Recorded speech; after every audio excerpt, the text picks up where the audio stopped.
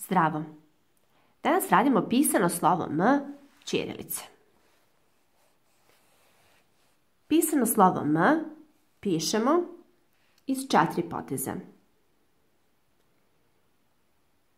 Jedan, dva, tri, četiri.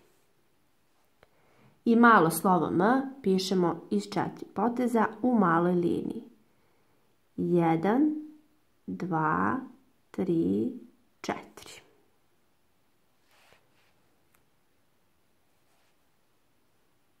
M na početku reči mama,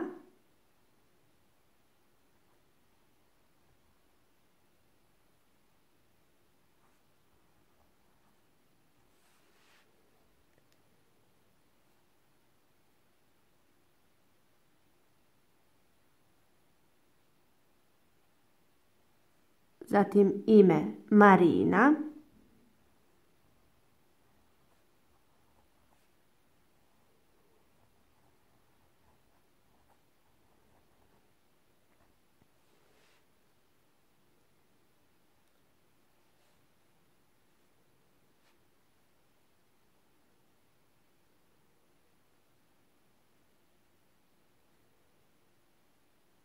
u sredini najmlađa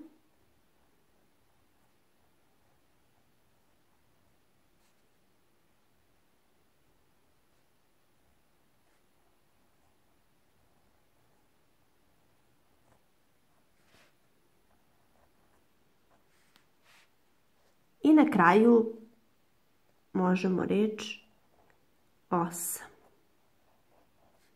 Kao broj osam.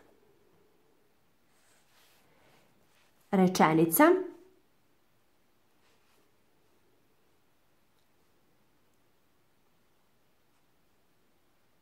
Mara.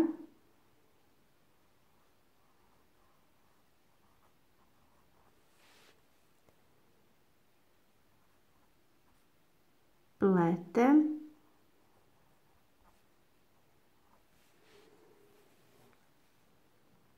Čarape.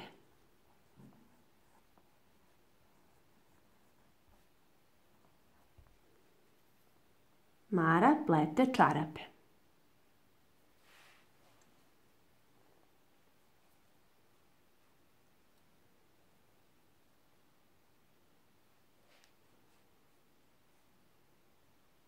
Zatim imamo marmelada je lepa.